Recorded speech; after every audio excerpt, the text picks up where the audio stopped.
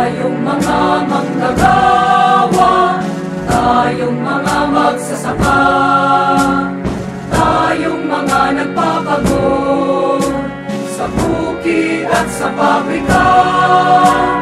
Tayong mga inaapin